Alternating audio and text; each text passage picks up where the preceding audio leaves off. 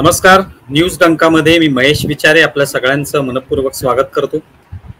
मित्रांनो भारत भाग्य विधाता या मुलाखतीच्या माध्यमातून आपण सामाजिक क्षेत्रामध्ये काम करणाऱ्या विविध संस्थांशी जोडले जातो. त्यांचं कार्य त्यांची वाटचाल आपण जाणून घेतो. आणि आतापर्यंत विविध संस्थांची आपण माहिती घेतलेली आहे. आज आपण अशाच एका संस्थेशी जोडले जाणार आहोत. ज्या संस्थेने एक वेगळ्या प्रकारचं काम ती संस्था करत असते.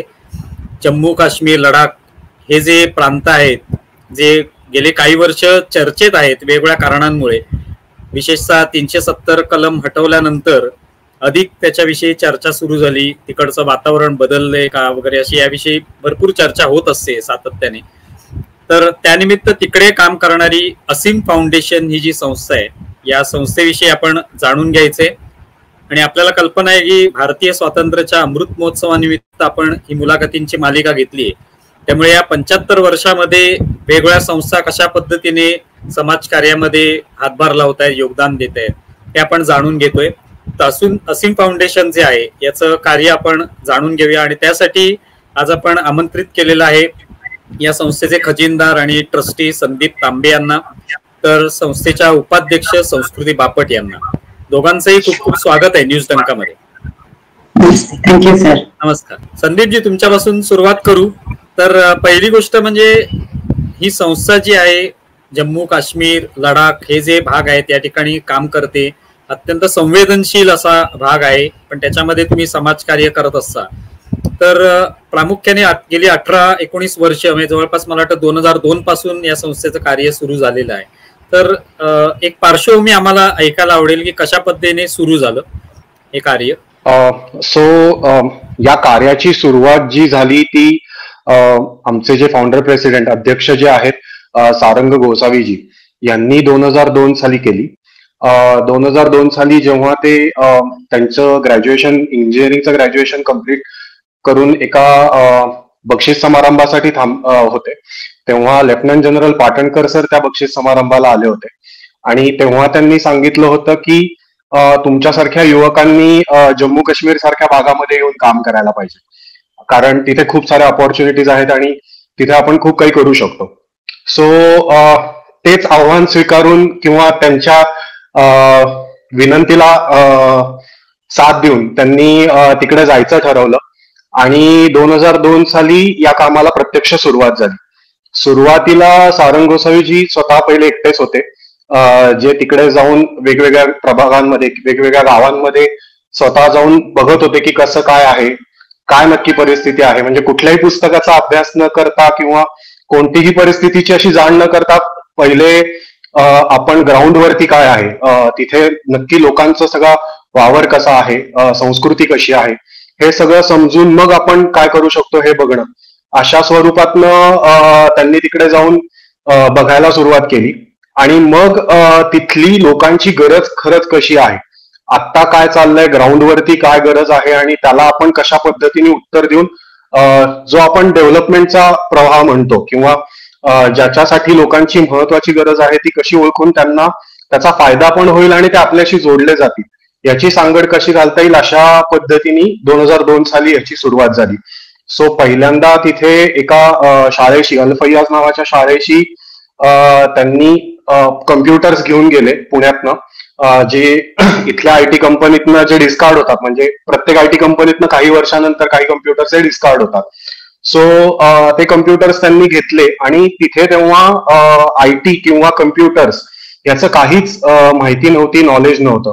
सो मग ही एक संधी आणि त्याच्याबद्दल आपण लोकांना माहिती देऊन त्यांना त्याच्याबद्दल जागरूक करून ही गोष्ट कशी देऊ शकतो? ही त्यांनी बघितलं आणि त्या शाळेमध्ये कम्प्युटर सेंटरची सुरुवात केली. आणि अशातनं कामाची सुरुवात ही दोन हजार दोन साली कुपवाडा भागातनं आपली झाली. आणि मग त्याच्यानंतर वेगवेगळ्या प्रभागांमध्ये आपण काम पुढे नेत गेलो. ओके. संस्कृतीजी तुम्ही कसं काय या संस्थेची जोडला गेलात? म्हणजे एक दोघही आता तुम्ही एक पुरुष एक महिला अशा अर्थाने आहेत पण महिला म्हणून त्या ठिकाणी काम करताना काय वेगळं वाटतंय तुम्हाला? दोन हजार सात मध्ये मी पहिल्यांदा काश्मीरला गेले. आणि तोपर्यंत आपण सगळेजण वर्तमानपत्रात वाचतो किंवा बातम्या बघतो. नव्वदच्या दशकामध्ये येणाऱ्या बातम्या जशा प्रकारच्या हिंसेच्या आणि या घडामोडी सगळ्या असायच्या. तेच ऐकत खरं तर आम्ही म्हणजे मी माझ्यासारखे जे सगळ्यात तेही मोठे झाले होते. दोन हजार सातला माझं ग्रॅज्युएशन झाल्यानंतर सुट्टी होती मोठी आणि तेव्हा असं होतं की तिथल्या मुलांच्यासाठी शिबिर घ्यायला जायचंय. तर आम्ही अशा एक सोळा सतरा जणी महाराष्ट्रातल्या वेगवेगळ्या भागामधल्या तिथे गेलो किंवा जायचं ठरवलं. तोपर्यंत मला असं कोणी पुण्यातून तिथे काम करतं किंवा एवढं उठून जाऊन कोणीतरी वेगळा काहीतरी विचार केला अशी कल्पना नव्हती. आणि खर तर सारंगदादांना जेव्हा आम्ही पहिल्यांदा बघितलं जायच्या आधी तेव्हा माझी अपेक्षा खूप वेगळी होती की समाजकार्य करणाऱ्या व्यक्ती या थोड्याशा वयानं मोठ्या किंवा थोड्याशा अशा पोक्त आपण असं म्हणू अशा बघायची सवय होती. तर आपल्यापेक्षा थोडासाच मोठा असलेला कोणीतरी हे तिथे जात आहे आणि तिथे गेल्यानंतर असं लक्षात आलं की नुसतंच ती व्यक्ती जात नाहीये. तर तिथल्या लोकांच्या बरोबर त्यांनी एक जो बॉन्ड लागतो तो तयार केला म्हणजे दादा म्हणतो म्हणून मग लोक काहीही करायला तयार आहेत. दादा म्हणतो म्हणून ते आउट ऑफ द वे जाऊन शिकायला तयार आहेत. दादा म्हणतो म्हणून चुकीच्या गोष्टी बाजूला सोडून चांगल्या गोष्टी करण्यासाठी एकत्र यायला तयार आहेत. असं कोणीतरी नातं जर तयार करू शकत असेल तर त्याच्यामध्ये नक्कीच काहीतरी वेगळं आहे. आणि मग हे वेगळं काय आहे? असं बघण्याची क्युरिओसिटी खरं तर मला या सगळ्याच्या मध्ये घेऊन आली. आणि दोन हजार सात नंतर मी माझ्या शिक्षणाच्या निमित्तानं पुण्यामध्ये आले आणि कामाला सुरुवात झाली माझी. हे खूप महत्वाचं आहे म्हणजे एका समाजकार्याशी जोडलं जाणं आणि त्याच्याशी एकरूप होणं इतकी वर्ष काम करणं हे सोपं नसतं. पण तुम्ही ते करताय. संदीपची हे सांगा की आता ज्या ठिकाणी तुम्ही काम करताय हे नेमकं कोणकोणत्या प्रकारचे उपक्रम तुम्ही राबवता तिथे आणि कशा प्रकारचा प्रतिसाद तिथे मिळत असतो? सो सध्या आपला नेहमीच मेन जो जो विभाग किंवा आपण ज्या सेक्शन्समध्ये काम करतो तो शक्यतो बॉर्डर रिजन्स म्हणून आहे. ज्याच्यात आपण सुरुवात जरी कामाची जम्मू काश्मीर मधनं केली असली तरी आता सध्याचा आपला कामाचा प्रसार हा नॉर्थ ईस्टर्न स्टेट्स पर्यंत पण झालेला आहे. याच्यात आपण आता असीम म्हणून चार सेक्शन्समध्ये काम करतो. एक आहे एज्युकेशन शिक्षण त्याच्यानंतर आंतरप्रनरशिप सोशल आंतरप्रनरशिप त्याच्यानंतर पुढचं आहे हेल्थ आणि एन्व्हायरमेंट आणि त्याच्याशिवाय अवेअरनेस या चार सेक्शन्समध्ये आपण असीमचं काम पसरवलेलं आहे. याच्यातले जे पहिले तीन सेक्शन्स आहेत एज्युकेशन सोशल एंटरप्रिनरशिप आणि एन्व्हायरमेंट हेल्थ हे आपले ऍक्च्युअल ग्राउंडवरती म्हणजे जम्मू काश्मीरच्या भागामध्ये जम्मू काश्मीर लेह किंवा अरुणाचलच्या भागामध्ये चालतात. आणि अवेअरनेस जो आहे तो शक्यतो आपण शक्यतो असं नाही पण जे काही सध्याची परिस्थिती आहे किंवा आपण कशा पद्धतीने काम करायला पाहिजे किंवा त्याच्यावरती काय काय आपण केलं तर तिथे इफेक्ट येऊ शकतो याच्यासाठीचा जो अवेअरनेस आहे तो आपण उर्वरित भारतामध्ये वेगवेगळ्या माध्यमातून करतो. मग ज्याच्यात एक्सचेंज टूर्स आणि या सगळ्या गोष्टी असतील. तर हे सगळं आपण या आत्ता सेक्शन्समध्ये डिवाइड केलेलं आहे. मग ह्याच्यात आपल्या मल्टिपल ऍक्टिव्हिटीज खूप साऱ्या वेगवेगळ्या प्रकारच्या ऍक्टिव्हिटीज चालू असतात. मग ज्याच्यात तुम्ही मगाशी म्हटलात तसं की स्पोर्ट्सचे स्पोर्ट्स आपल्या रिलेटेड म्हणजे क्रिकेट ऍक्टिव्हिटीज किंवा फुटबॉल रिलेटेड ऍक्टिव्हिटीज या होतात. किंवा आपण एज्युकेशनमध्ये आता पुण्यामध्ये काही मुलं मुली यांच्या शिक्षणाची जबाबदारी आपण घेतलेली आहे.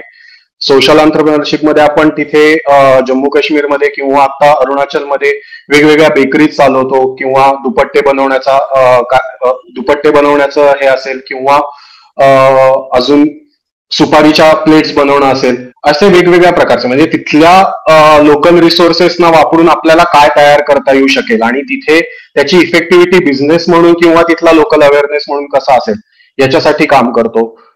याच्याशिवाय हेल्थ आणि एन्व्हायरमेंटमध्ये मग आपण सेकंड ओपिनियन हेल्थ सेंटर किंवा आरोग्य सेविका असतील की ज्याच्यात ग्राउंडवरती तिथल्या लोकांना एम्पॉवर करून जर आपल्याला तिथले बेसिक प्रश्न म्हणजे आपण काय अगदी डॉक्टरांपर्यंत लगेच नाही पण जर समजा फर्स्ट एड काही हवा असेल अशा पद्धतीच्या ऍक्टिव्हिटीज असतील तर त्या आरोग्य सेविकांच्या मार्फत करतो.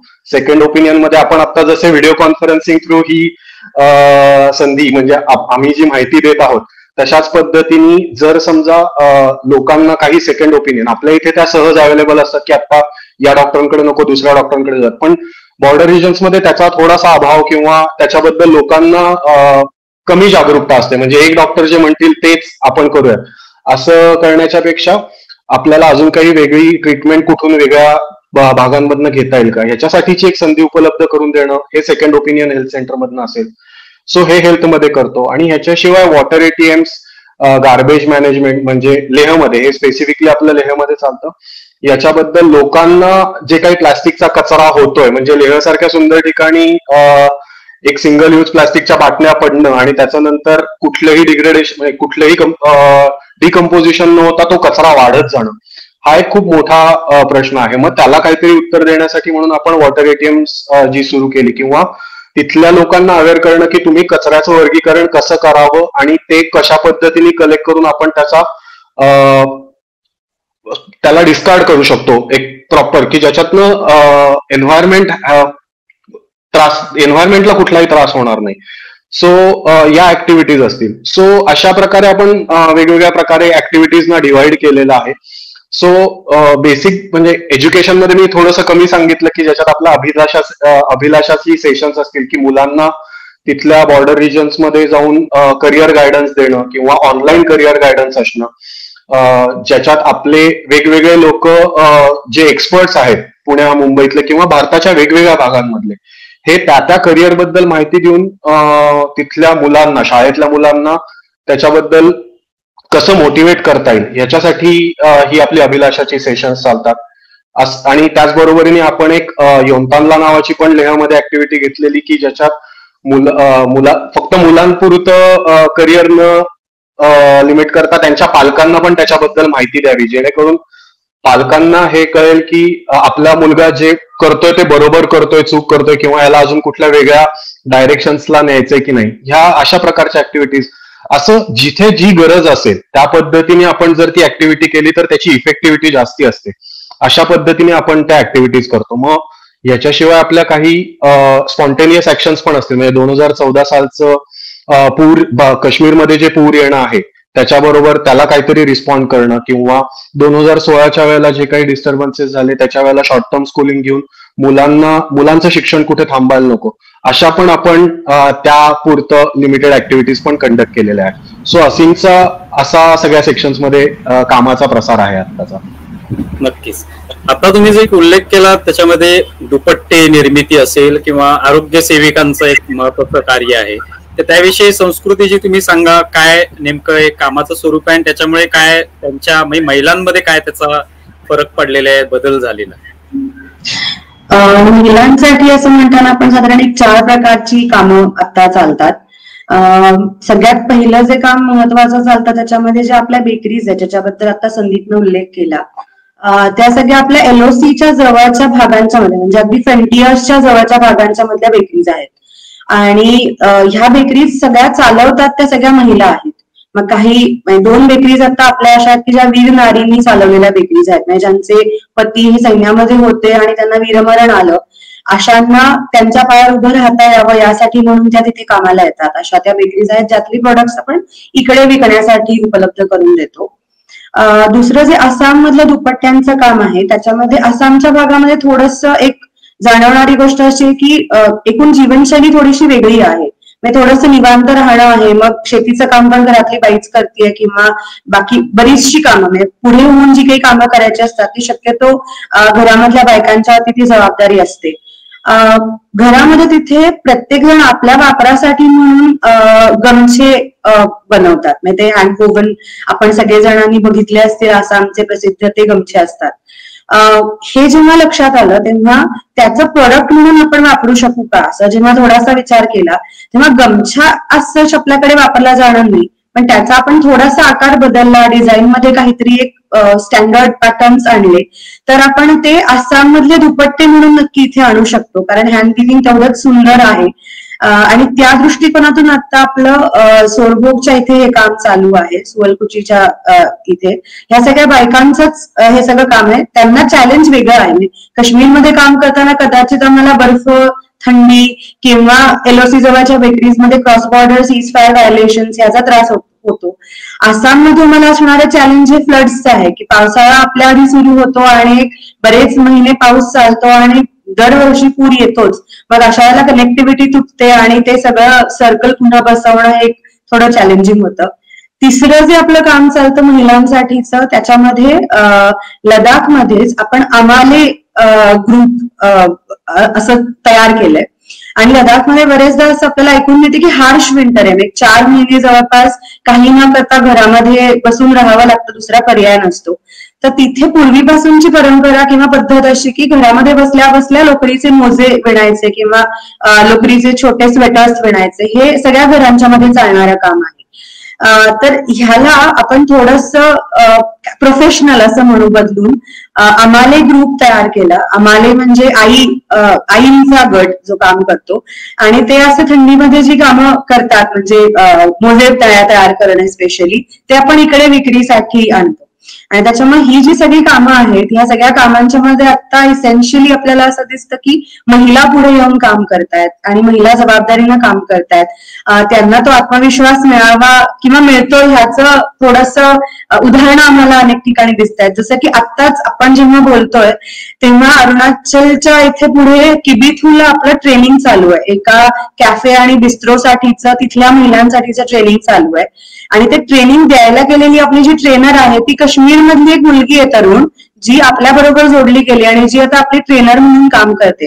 म्हणजे भारताच्या दोन टोकाला जोडणाऱ्या आणि जोडून घेणाऱ्या महिला ज्या आहेत त्याच्यामधला छोटासा दुवा होण्याचं काम खरं तर असीमचं आहे आणि तेच काम आम्ही गेली अनेक वर्ष करतोय. संदीपजी मला एक विचारावं असं वाटतं की प्रामुख्याने गेली अनेक वर्ष असंच होतं की काश्मीर किंवा जम्मू आणि हे सगळे भाग हे थोडेसे भारतापासून वेगळे आहेत की काय? किंवा असं एक चित्र होतं तिथे दहशतवाद होता तिकडची मानसिकता जी आहे ती लोकांची वेगळी तयार करण्यात आली होती.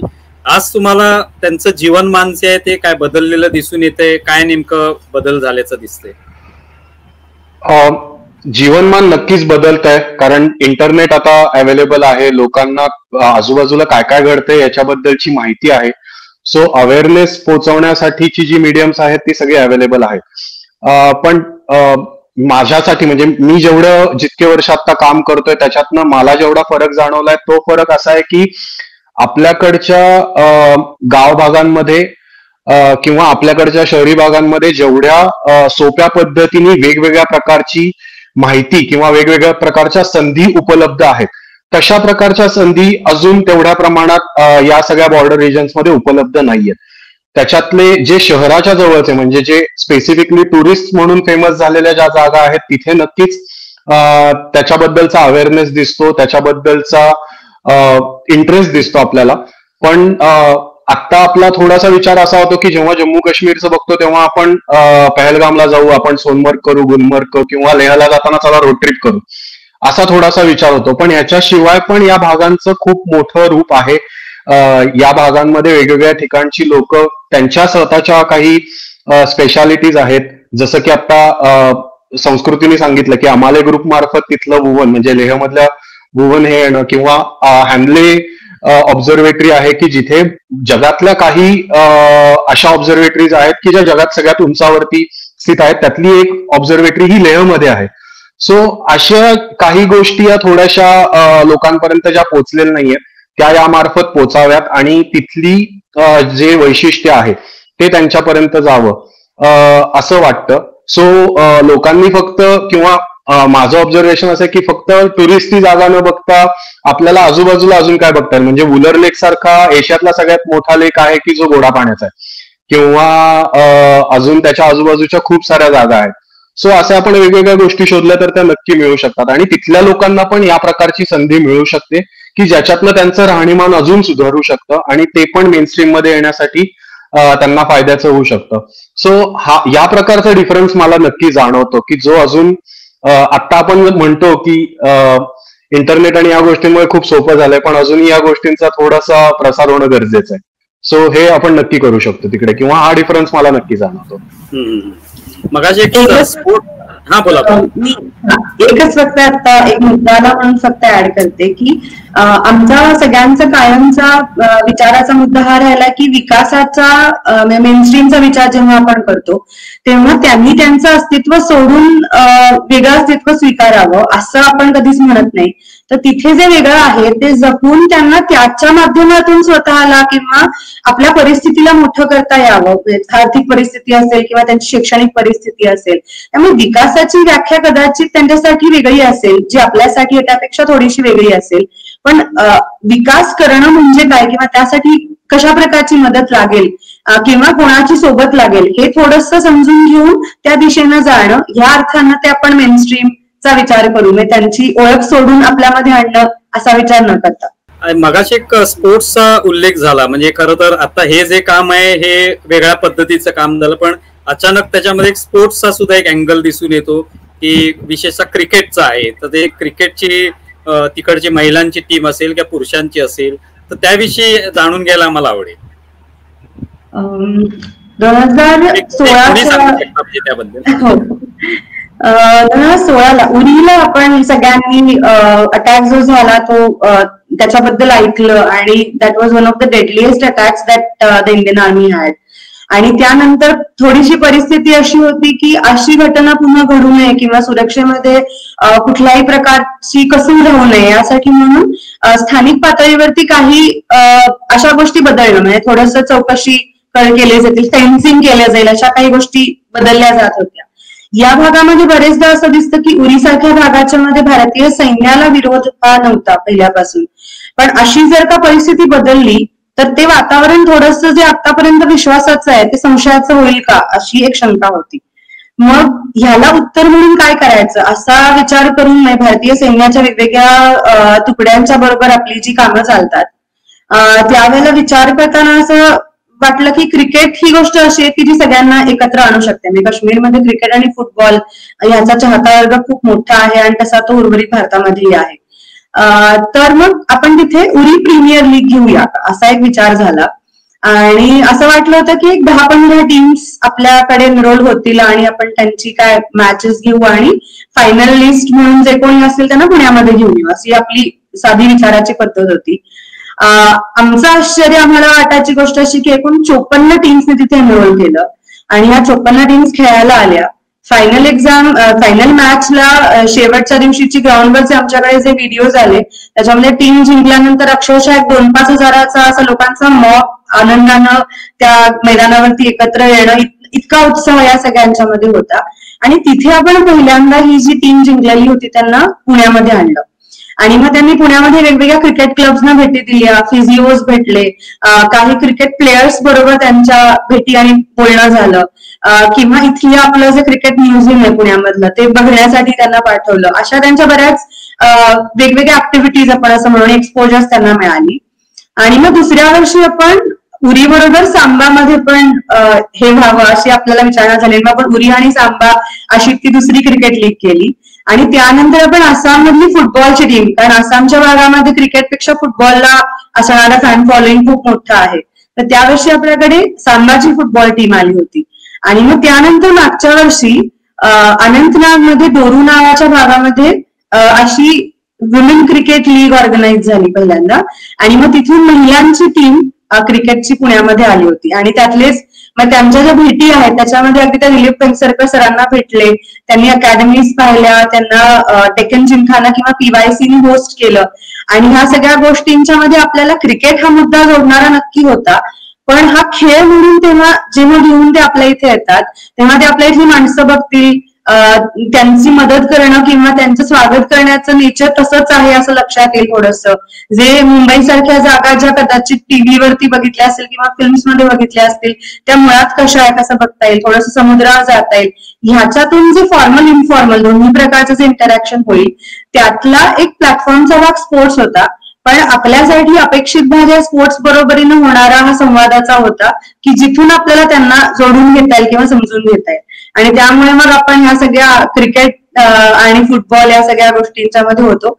तसं मागच्या वेळेला आपण म्हणजे कोविडच्या आसपास इथे टीम आणणं म्हणजे अगदी चालू असताना काही लॉकडाऊन ऑन ऑफ होत असताना आपण काही गेम्स तिकडे होस्ट केले. म्हणजे तिकडच्या लोकल व्हॉलेंटियर्स आणि आर्मी युनिट बरोबर काही व्हॉलीबॉल टुर्नामेंट झाल्या काही मॅरेथॉन्स झाल्या. आणि ह्या सगळ्याचा हेतू हाच की खेळ ही गोष्ट खूप निकोपपणे लोकांना एकत्र आणते. तर त्यामुळे आपले जे काही बाकी भेद असतील किंवा विचारातले मतभेद असतील ते दोन मिनिटं बाजूला ठेवूया आणि इथे एकत्र येऊया. आणि मग असं वाटलं की आपण एकमेकांशी चांगलं बोलू शकतो किंवा बाकीच्या गोष्टींच्या वरती चर्चा नंतर आपण होऊ शकते. या हेतूने या सगळ्या गोष्टी घडल्या. बरोबर. शेवटी क्रिकेट आणि फुटबॉल हे जे दोन्ही खेळ आहे ते शेवटी टीम गेम आहेत आणि त्याच्यातूनच एक प्रकारे एकत्र येण्याचं एकजूट जी आहे ती त्याच्यातूनच होऊ शकते. महेशजी फक्त एक याच्यातली चांगली गोष्ट अजून एक ऍड करावीशी नक्की वाटेल की जशी संधी ही तिथल्या टीम्सना आपल्या इथे येऊन मिळते की वेगवेगळ्या प्रकारचं एक्सपोजर तसं आपल्या इथल्या ज्या टीम्स याच्यामध्ये पार्टिसिपेट झाल्या होत्या ज्याच्यात त्यांनी मॅचेस खेळल्या त्यांच्यासाठी पण ही एक खूप चांगली गोष्ट होती की अशा वेगवेगळ्या भागांमध्ये म्हणजे जसं तुम्ही मगाशी म्हटलात की जम्मू काश्मीरमध्ये डिस्टर्बन्सेस असतात किंवा काही वेगवेगळ्या प्रकारच्या गोष्टी घडत असतात सो आमच्याकडनं पण हा एक वेगळा म्हणजे इनडायरेक्टली हा मेसेज गेला की अरे तिथे पण स्पोर्ट्स चालू आहे तिथे पण लोकांना या प्रकारच्या संधी हव्या आहेत. त्यांना पण या गोष्टींचे इंटरेस्ट आहेत. काही नॅशनल प्लेयर्स आहेत काही डिस्ट्रिक्ट लेवल प्लेयर्स आहेत. सो हे आपल्या इथल्या टीम्सना मग आपल्या इथले क्लब्स असतील पुण्या मुंबईतले त्यांना पण याच्याबद्दलची माहिती मिळाली आणि त्यांनी त्यांना एक्सपोजर देण्यासाठी प्रयत्न केला की हा ही प्लेअर जरी काश्मीरमधनं असला किंवा असली तरी आपण आपल्या क्लब मार्फत याला हिला खेळवू शकतो का आणि कसं पुढे आणता येऊ शकतं? सो हा एक अनएक्सपेक्टेड आउटपुट हा याच्यातनं आम्हाला मिळाला आणि इथल्या प्लेयर्सनी पण त्याला खूप चांगल्या प्रकारे घेतलं. म्हणजे मगाशी संस्कृतीने जसं सांगितलं की दोन हजार सोळाला झाल्यानंतर दोन हजार सतरामध्ये जेव्हा ही टीम आपल्याकडे आली तेव्हा भले ते मॅच डेक्कन जिमखान्याबरोबर हारले होते पण जी डेक्कन जिमखान्याची टीम होती त्यांना एवढं ते सगळं आवडलं आणि ते एवढे भारावून गेले होते की त्यांनी सांगितलं की ही ट्रॉफी आम्हाला लोक तुम्ही ही घेऊन जा. तुम्ही खरे जिंकलेले आहात कारण तुम्ही एवढा प्रवास करून एवढ्या सगळ्या तुमच्याकडे घटना घडत असतानाही तुमच्यामध्ये एवढा इंटरेस्ट आहे तुम्ही त्याला एवढं लावून धरलेलं आहे. तर खरे विनर्स तुम्ही आहात. सो असे इनडायरेक्ट मेसेजेस आणि असे अनुभव येणं हे खूप चांगली गोष्ट असते आणि खूप एनकरेजिंग असते. नक्कीच. नाही कोणताही खेळ शेवटी वेगवेगळ्या लोकांना जोडण्याचं काम करतो आणि भले क्रिकेट असेल किंवा आणखी कोणताही खेळ असेल पण तुम्ही ते करून दाखवत आहे त्या माध्यमातून. मला एक दोघांनाही प्रश्न असा विचारवाचा वाटतो की या सगळ्या एवढ्या वर्षामध्ये अनेक अनुभव आले असतील तुम्हाला म्हणजे ज्यातले काही अविस्मरणीय अनुभव असतील काही तुम्हाला म्हणजे बरे वाईट प्रत्येक अनुभव असतो पण तुम्हाला सांगावेसे वाटतात का कायम स्मरणात राहिलेले असे? तर दोघांनी एक एक अनुभव सांगावा की जो कायम तुम्हाला लक्षात राहिला. ओके पहिले मी सांगतो कारण माझ्यासाठी तो खूप जवळचा आहे आणि नक्कीच महत्त्वाचा आहे. म्हणजे आम्ही लेहला पहिल्यांदा जात होतो आणि लेहमधनं परत येताना आम्हाला एका शाळेत जायचं होतं की जी खूप अनप्लॅन्ड व्हिजिट होती. आणि आम्हाला काहीच त्या प्रभागा म्हणजे त्या एरियाबद्दल काहीच माहिती नव्हतं. तो भाग होता झंस्कार व्हॅली मधला जे कारगिल पासन जवळपास आतमध्ये पंच्याहत्तर किलोमीटर आतमध्ये पंच्याहत्तर ते शंभर किलोमीटरच्या आतमध्ये जायला लागतं. आणि अनफॉर्च्युनेटली आम्हाला त्या दिवशी लेहमधनं निघायला उशीर झाला होता. आम्ही बसनी येत होतो. आमच्याबरोबर काही जणांचे पॅरेंट्स होते जे या दौऱ्याला आले होते. आणि आम्ही काही व्हॉलेंटियर्स होतो. सो त्या एरिया म्हणजे त्या जाताना आम्हाला फक्त एक आमचे नवीन सहकारी भेटले होते सईद अब्बाजी म्हणून. तर ते आमच्यासाठी कारगिलमध्ये थांबले होते की ओके हे येणार आहेत आणि आपल्याला यांना पाणीखेर नावाच्या गावी घेऊन जायचं आहे. किती वाजलेले असून देत? आणि त्यांनी तो हट्ट शेवटपर्यंत सोडला नव्हता. आणि आम्ही असे होतो की आता उशीर झालाय तर त्यांना सांगू की आम्हाला उशीर झालाय आम्ही पुढे लेहल श्रीनगरला जातो कारण आमची पुढच्या दिवशींची कामं तिथे ठरली आहेत. पण ते म्हटले की नाही तुम्हाला शाळेत यायचंच आहे आणि तुम्हाला तिथल्या शिक्षकांना भेटायचंच आहे. म्हटलं ठीक आहे. सो आम्हाला कोणालाही तो प्रभाग माहिती नव्हता. सगळ्यांसाठी नवीन होतं ते. आणि आम्ही साधारण संध्याकाळी साडेसहा सात वाजता कारगिलमधनं निघालो होतो आमची गाडी घेऊन. आणि समोर त्यांची गाडी होती की जी अख्ख्या रस्त्यावरती फक्त तेवढ्या दोनच गाड्या होत्या. आणि अंधार होता. शेजारी झंस्कार नदी पूल वाहत होती खळाळून आणि आम्हाला थोडस टेन्शन आलं होतं की अरे नक्की आपण कुठे चाललोय? कारण रस्त्यावरती लाइट नाहीये. आणि ही गोष्ट दोन हजार बाराची आहे. म्हणजे थोडीशी सरप्राइझिंग असेल की दोन हजार बाराच्या वेळेला पण रस्त्यावरती दिवे नाहीत किंवा हा एक महत्त्वाचा भाग आहे की जिथे दिवे ऍब्सल्युटली नाहीच आहेत.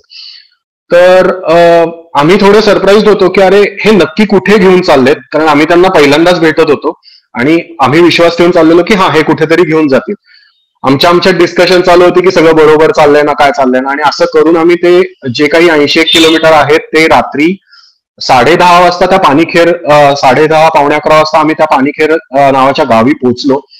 आणि खूप आश्चर्य वाटलं की त्या शाळेचे चेअरमन जे होते जे जवळपास पंच्याहत्तर वयाच्या पंच्याहत्तरी त्यांनी ओलांडली होती. आणि त्यांच्याशिवाय अजून आठ शिक्षक हे त्या गेस्ट हाऊसमध्ये आलेले होते. आम्हाला भेटायला फक्त. आणि ते इतक्या वेळ वाट बघत होते.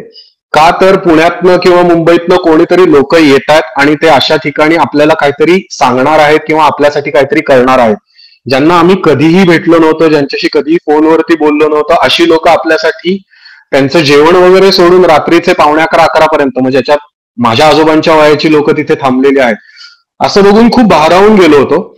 आणि त्याच्यात अजून एक विशेष गोष्ट अशी होती की त्या गावात दोनदा जनरेटर चालू व्हायचा पाणी पंप करण्यासाठी की गावात पाणी जावं म्हणून.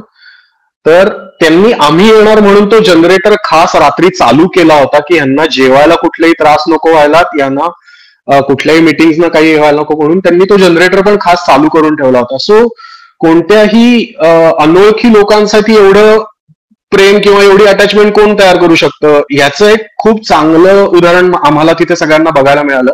आणि हा अनुभव कधीच विसरू शकत नाही. म्हणजे जर समजा अनोळखी लोकांसाठी कोणीतरी असं काहीतरी करत असेल तर आपण का नाही करावं? ज्यांना आपण म्हणतो की आपण या प्रभागांना ओळखतो हे आपले सगळे हे आपले नागरिक आहेत किंवा आपल्या देशाशी जोडलेले आहेत. तर हे जर असं करू शकतात तर का नाही आपण करायचं? हा एक खूप महत्त्वाचा अनुभव तिथे मिळाला आणि हा खूप लवकर मिळाला. सो हा कधीच मी विसरू शकत नाही. येस येस संस्कृती मॅडम तुम्ही सांगा एखादा एखादा जरासा विचार करायला लागला मला. पण नक्की. आपल्या इथे आता मगाशी संदीपच्या बोलण्यामध्ये उल्लेख आला तशी तिथून शिकायला आलेली मुलं मुली राहतात. लडाख आणि काश्मीर मधून आलेली मुलं मुली आहेत. ह्याची सुरुवात खरं तर आपण खूप आधी केली. दोन हजार नऊच्या आसपासपासून आपल्याकडे असे राहायला यायला लागले. पण त्याला असं आपण असं स्ट्रक्चर्ड असं स्वरूप तेव्हा नव्हतं दिलं. दोन हजार बारा नंतर जेव्हा लडाखमध्ये आपण काम सुरू केलं त्याच्यानंतर लडाखच्या शाळेमधली एक्सचेंज टूर साठीची काही मुलं मुली आपल्या इथे येऊन गेली. आणि मग त्यांच्यामधल्या एकीचा मेल आला की मला पुण्यामध्ये शिकायला यायचंय आणि मी आले तर चालेल का? आणि थोडंसं आमच्या सगळ्यांच्यासाठी असं होतं की काय करावं? म्हणजे हो म्हणलं तर आपण मोठी कमिटमेंट घेत देतोय काहीतरी जबाबदारी घेतोय. तर काय करावं? असा प्रश्न होता. आपण मग तिला असं म्हणलं की एकटीच यायच्या ऐवजी तुला एक कोणीतरी अजून मैत्रीण बरोबर असेल तर नक्की ये. आणि मग त्या दोघी जणी पहिल्यांदा आल्या त्यांची तिसरी मैत्रीण पाठोपाठ थोड्या दिवसांनी पोहोचली इथे. आणि त्यांचं सगळं प्रोसेस चालू झाली अकरावीचे ऍडमिशन मग इथलं मराठी बोलणं खाणं पिणं सगळं वेगळं. आणि त्याच्यानंतर काही दिवसांनी आम्ही लडाखमध्ये गेलो तेव्हा खरं तर त्यांच्या घरच्यांना पहिल्यांदा भेटलो किंवा बघितलं. आणि त्यांनी जणू काही ते आम्हाला अनेक वर्ष ओळखतायत आणि जसे आपण दरवर्षी एकमेकांना भेटतो तसे याही वर्षी भेटतोय. अशा प्रकारे त्यांनी आमचं स्वागत केलं होतं. आणि तेव्हा हा खूप वेगळा भावना पोहोचली की आपल्याला न बघितलेल्या माणसांनी आपल्यावर विश्वास ठेवून त्यांची मुली त्यांच्या मुली ह्या आपल्याकडे शिकायला पाठवल्यात. आम्ही कोण आहोत? आम्ही काय करतो? आम्ही कसे आहोत? चांगले आहोत की नाही? ह्याच्याबद्दल त्यांना स्वतःला कुठलाही अनुभव नव्हता ना. ते कधी आमच्यापैकी कोणाशी फोनवर बोलले होते. आणि तरी सुद्धा त्यांनी अगदी विश्वासानं आणि हक्कानं त्यांच्या मुली इथे शिकायला पाठवल्या. हा विश्वास खूप वेगळा होता. आणि असाच विश्वास दोन हजार सतरा पासून आपल्याकडे मुलं शिकायला आली आणि ती शाळेतली होती. म्हणजे ह्या मुली कॉलेजमधल्या होत्या. ही मुलं शाळेतली होती. आणि तेव्हा तर आमच्यासाठी असं होतं की अशी काही पालकत्व वगैरे आम्हाला कुठलाही अनुभव नाहीये. तर मग आपण करू शकू का? असा प्रश्न खूप मोठा होता. तर त्यांच्याही सगळ्यांच्या घरातून म्हणजे ती घरं आमची हक्काची आहेत. आजही आम्ही जेव्हा जातो तेव्हा त्यांच्याकडे राहतो. त्यांच्याकडे जेवतो खातो पितो. गरज पडली कधी अचानक ते मदत झाली तर त्यांच्याकडे पहिल्यांदा फोन जातो. ही नाती तयार जी झाली तो अनुभवच मला असं वाटतं की असीमच्या सगळ्या कामामधून रोज रात्री झोपताना आपल्याला जे समाधान लागतं तो समाधान देणार आहे असं नक्की म्हणताय. एक शेवटचा प्रश्न विचारतो तो म्हणजे आपण ही जी मुलाखतींचं जे प्रयोजन आहे ते म्हणजे अमृत महोत्सवानिमित्त भारतीय स्वातंत्र्याच्या आणि इथं गेल्या पंच्याहत्तर वर्षामध्ये ज्या संस्थांनी या सगळ्या एकंदरीत भारताच्या जडणघडणीमध्ये जे योगदान दिलेलं आहे त्याविषयी. तर तुम्ही काय सांगाल की एवढ्या अठरा एकोणीस वर्षात समाधानकारक तुम्ही काम करू शकलात? आणि त्याच्याबरोबरच एक जोड प्रश्न म्हणजे भविष्यामध्ये काय तुमचं ध्येय आहे? काय नवीन आणखी करण्याची इच्छा आहे? दोघांनी थोडक्यात मला त्याविषयी सांगावं. समाधान खूप गोष्टींचं आहे. म्हणजे ऍक्च्युली आमचे रोजचे जे काय आमचे प्रोफेशनल जॉब्स आहेत ते करण्यापेक्षा रादर ते करायला मोटिवेट करणारे सगळं समाधान हे असीम मधनं मिळतं सो त्याच्यातले काही महत्त्वाचे मुद्दे असे आहेत की आपण जाबरी नावाच्या गावी जे एलओसीच्या एकदम जवळ आहे त्याच्यावरती सोलर ग्रीडचा एक प्रयत्न केला आणि तिथल्या लोकांना आपण वीज देऊ शकलो सोलरच्या माध्यमातून. आणि त्याच्यातला समाधानाचा भाग असा होता की जेव्हा एक्स्ट्रीम विंटर्स होते तेव्हा पण त्यांच्याकडचे लाइट गेले होते पण आपल्या सोलर युनिट्समुळे त्या लोकांना साधारण तीन तीन फूट बर्फ असतानाही तिथले लाइट त्या घरांमधले गेलेले नव्हते. आणि ते लोक जेव्हा आपण पुढची फेजची कामं करायला जातो तेव्हा ते आपल्याला आवर्जून सांगतात की तुम्ही हे जे मागच्या वर्षी केलं होतं ना ते इतकं इफेक्टिव्ह झालंय की आम्ही बाकीच्या गावातली लोक येऊन आता आम्हाला विचारतात की आमच्या घरी कधी येणार? सो हे जबाबदारी देणारं पण आहे पण हे अमाप समाधान देणारी गोष्ट आहे. आणि याच्याशिवाय जेव्हा संस्कृतीने मगाशी सांगितलं की ज्या पहिल्या तीन मुली पुण्यात शिकायला आल्या होत्या जेव्हा त्या जी मुलगी आता आता इंजिनियर झालेली आहे त्यातली यांगझिन म्हणून ही जेव्हा आपण लेहमध्ये पहिली आय टी कंपनी सुरू केली इथॉसच्या मार्फत तेव्हा ती जेव्हा बोलते की इथे आय टी कंपनी सुरू करून किती अपॉर्च्युनिटीज मिळू शकतात कशी माझी ग्रोथ झाली कसं हे सगळं मला मिळत गेलं आणि कसं लोकांनी त्याचा फायदा करायला पाहिजे. हे एक परत एक समाधान देणारी गोष्ट असते की आपण जेव्हा ती तिची दहावी झाली होती तेव्हा आपण अशी काय अपेक्षा करून नव्हतो आलो की तिने लेहमध्ये जाऊन ती कंपनीचं सेंटर सांभाळावं आणि ती परत कंपनी पुढे मोठी करावी. पण ती जेव्हा बोलत असते किंवा ती जे सांगत असते तो जो आत्मविश्वास असतो तो सांगून जातो की अरे हे जे आपण करतो हे खरंच खूप महत्वाचं आहे आणि त्याच्यातनं आपल्याला डायरेक्टली काही मिळत नाही पण इनडायरेक्टली आपण खूप गोष्टी देतोय आणि मिळतात. सो हे खूप सॅटिस्फॅक्शन देणारी गोष्ट असते. त्यामुळे नक्कीच हे छोटे छोटे बदल आहेत. म्हणजे मी असं नाही म्हणणार की याच्यातनं अगदी समाजावरती खूप मोठा इम्पॅक्ट झाला पण हे छोटे बदल हे रोल मॉडेल्स तयार करतात आणि त्याच्यातनं लोक अजून मोटिवेट होऊन आपण अजून कसं करू शकतो. म्हणजे दहा घरांची वीस घरं कशी होतील सोलर ग्रीडसाठी किंवा अजून गाव कसं होईल आणि याच्यातनं अजून कम्युनिटी कशी जोडली जाईल किंवा आय टी कंपनीच्या मार्फत लोकांना संधी कशा मिळतील?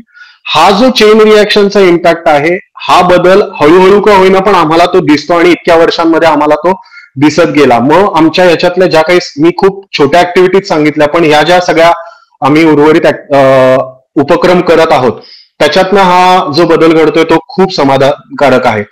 आणि पुढच्या काही दिवसांमध्ये आम्ही काय करू याच्याबद्दल सांगायचं तर आपण एक भोरमध्ये राष्ट्रीय एकात्मता उद्यान च म्हणजे उद्यान तयार केलेलं आहे ज्याचं उद्घाटन नरावणे सरांनी केलं होतं डिसेंबरमध्ये. तर त्याच्यामध्ये खूप साऱ्या लोकांनी यावं आपले जे एकवीस परमवीर चक्र विजेते जवान आहेत. त्यांच्याबद्दलची माहिती घ्यावी. ते कोणत्या युद्धात गेले त्यांना ते शौर्य पदक मिळालं किंवा परमवीर चक्र पदक मिळालं. कशासाठी मिळालं? त्यांनी असं काय केलं होतं की ज्याच्यातनं त्यांना एवढं परमोच्च पदक मिळालं? याची माहिती घ्यावी. या त्याचबरोबरीने आम्ही त्या राष्ट्रीय एकात्मता उद्यानामध्ये जे बॉर्डर रिजन्स मधले सध्याचे प्रश्न किंवा तिथे चालणाऱ्या चांगल्या गोष्टी काय कुठले प्रश्न असतील याच्याबद्दलची माहिती ही जी काही देत आहोत ती सर्वांनी घ्यावी आणि आपण जास्तीत जास्त या सर्व भागांमध्ये कसं काम करू शकतो? मग ते कोणत्याही प्रकारचं असून देत असीम फक्त माध्यम असेल त्यासाठीचं. असं म्हणून जितकं म्हणून करता येईल तेवढं करावं असं आमचा उद्देश असेल नक्कीच. संस्कृती तू काही याच्यात ऍड केलंस तर म्हणजे नक्कीच जरूर जरूर. समाधानाचा एक तर पहिला मी म्हणलं तर की आपल्यावर लोकांचा विश्वास आहे हे समाधान खूप मोठं असतं. कारण अनोळखी ठिकाणी आणि without any prior experience background check डोळे मिटून आपल्यावर विश्वास ठेवणं आणि प्रेम करणारी माणसं ही खूप दुर्मिळ असतात. आणि ते प्रेम इतकं टोकाचं किंवा इतकं खोलवर असतं की माझ्यासारखी व्यक्ती की जी असं म्हणेल की मी फक्त व्हेजिटेरियन खाते तर मी ज्या घरामध्ये जाते त्या घरामध्ये माझ्यासाठी म्हणून फक्त व्हेजिटेरियन जेवण बनतं किंवा माझा उपास आहे म्हणून माझ्यासाठी वेगळं काय फळं अजून काही जे लागेल ते येतं. तर ह्या प्रेमाचा आणि मायेचा भाग समाधान देणारा ही एक खूप महत्वाची गोष्ट आहे. आणि दुसरा त्यातला एक खूप सुंदर अनुभव असा आहे की ज्या बेकरीजबद्दल मी बोलले तर ती सांबाच्या ठिकाणी आपली एक ऑलिव्ह ग्रीन बेकरी आहे की जी आपल्या वीर नारी चालवतात. आणि ह्या सगळ्या वीर नारी ज्या बेकरी चालवायला आल्या त्या वयानं तशा मोठ्या होत्या चाळीस पंचेचाळीस वर्षाच्या पुढच्या सगळ्या जणी हे काम करायला आल्या होत्या. आणि हे काम करताना सुरुवातीला जेव्हा त्यांचं शॉर्टलिस्टिंग झालं किंवा काम कोणी करायचं असं थोडंसं ट्रेनिंग नंतर जेव्हा आम्ही ठरवलं तेव्हा आपलं मत फारसं मांडू न शकणाऱ्या आपल्या डोळ्यात डोळे घालून बघूही शकणार नाहीत कदाचित. अशा प्रकारे त्यांची एक बॉडी लँग्वेज होती. आणि साधारण एक वर्षभरानंतर जेव्हा त्या पुण्यामध्ये आल्या होत्या एक तर त्या पहिल्यांदाच त्यांच्या आयुष्यात आपल्या घरातून बाहेर पडून विमानात बसून कुठेतरी दूर आल्या ही पहिली त्यांच्यासाठीची अचीवमेंट होती. आणि दुसरं म्हणजे नाशिकमध्ये बोलायला गेल्या होत्या. आणि एक हजार दोन हजार लोकांच्या समोर त्यांनी त्यांचे अनुभव सांगितले. आणि हे सगळं होत असताना त्यांच्यामधला जो बदल आहे किंवा आपण आपल्या बेकरीमध्ये आता आपण असे असे बदल केले ना तर आपल्याला अजून ऑर्डर्स येतील. हे त्यांचं सजेशन ही खूप समाधान देणारी गोष्ट आहे. किंवा जी आपली ट्रेनर जिच्याबद्दल मी बोलले ती खर तर उरी नावाच्या गावामधली तिथून तिला तिचं जे काम आहे त्याच्यामधून टाटामध्ये जॉब मिळाला ताजमध्ये. तो सोडून ती पुन्हा आपल्या बरोबर ट्रेनर म्हणून मी असीम बरोबरच काम करणार म्हणून आली आणि ती आता वेगवेगळ्या ठिकाणी फिरते. म्हणजे तिचं फिरतीचं काम आहे ट्रेनिंग ट्रेनिंग देण्याचं काम आहे. पण ती तितक्याच उत्साहानं करते.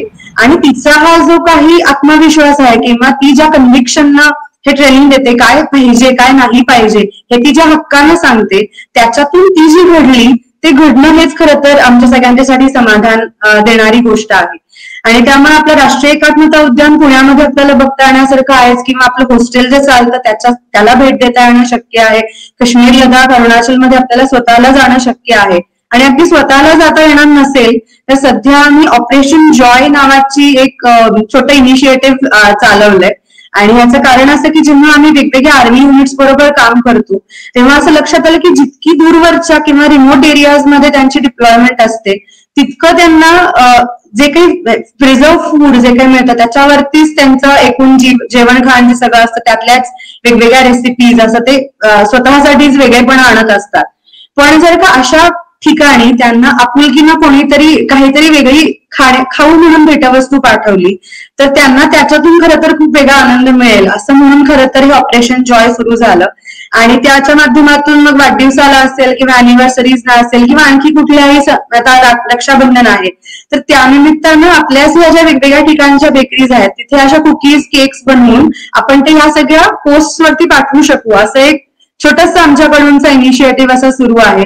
आणि त्यातला आनंदाचा आणि समाधानाचा भाग असा की आपण इथे बसलोय सगळे.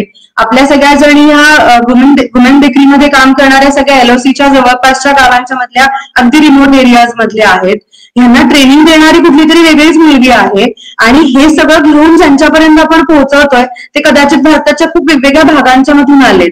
आणि त्यामुळे असीमचं काम एकात्मतेसाठी आहे असं जर का आपण म्हणत असू तर ह्याच्यापेक्षा वेगळी एकात्मता आणखी कुठली असू शकणार नाही. आणि त्यामुळे ती अजून जास्त समाधानाची आणि काम करण्यासाठीच्या मोटिवेशनची गोष्ट म्हणून नक्की मांडावीशी वाटते. बरोबरच म्हणजे तुम्ही आज शेवटी जे वाक्य म्हणालात की असीमच्या माध्यमातून एकात्मता जी आहे ती एकात्मता संदेश जो आहे तो तुम्ही देताय. आणि छोटे छोटे उपक्रम तुम्ही म्हणताय पण त्या ज्या ह्या छोट्या वाटा तुम्ही तयार केलेल्या आहेत त्यातूनच हा महामार्ग तयार होणार आहे पुढे. तुम्ही इथे आलात न्यूज डंकामध्ये आणि असीम फाउंडेशनचं हे जे मोठं कार्य आहे त्याविषयी सांगितलं. अर्थात आपल्याला जेवढं बोलावं तुमच्या कार्याविषयी तेवढं कमीच आहे. पण तुम्ही ज्या पद्धतीने सांगितलं ते अर्थात आमच्या श्रोत्यांना आवडेल आणि त्यातून निश्चितपणे त्यांनाही प्रेरणा मिळेल. आम्हाला या निमित्तानं या प्लॅटफॉर्मचा उपयोग करून अनेकांच्या बरोबर संवाद साधता आला. कदाचित तंत्रज्ञानाचा चांगला वापर असं म्हणून असीममध्ये जे काम करतो त्याचाच हा एक भाग म्हणून खूप आनंद होतोय खूप छान वाटतंय. आणि खूप मनापासून धन्यवाद की आम्हाला दोघांना आज या ठिकाणी बोलता आलं किंवा आमचे विचार थोडेसे सगळ्यांच्या पर्यंत पोहोचवता आले. धन्यवाद संदीपजी. संस्कृतीताई तुम्ही दोघंही आला तिथे वेळ काढून आणि असीम फाउंडेशनबद्दल सांगितलं. तर मित्रांनो तुम्हाला हा एपिसोड कसा वाटला? भारत भाग्य विधाताचा हे जरूर कळवा आणि आमचा हा व्हिडिओ जास्तीत जास्त लाईक करा शेअर करा आणि आमचं युट्यूब चॅनल सबस्क्राईब करा. धन्यवाद. धन्यवाद.